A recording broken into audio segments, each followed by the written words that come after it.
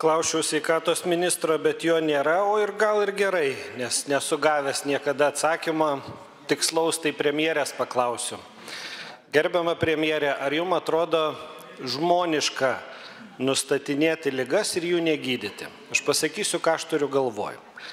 Jūs padarėt labai gerą sprendimą. Išplėtėt naujagimiam retų ligų tyrimus. Paskyrėt papildomai pinigų nustatoma yra daugiau ligų bet ar jūs žinot kad jau beveik metus sveikatos ministerija nesugeba baigt derybų ir ne nesugeba nupirkti vaistų cistinei fibrozei gydyti vienam vaikui vienam mėnesiui tai kainuoja septyniolika tūkstančių eurų ir mamos dabar tuos pinigus visokiais būdais susirinkinėja pačios.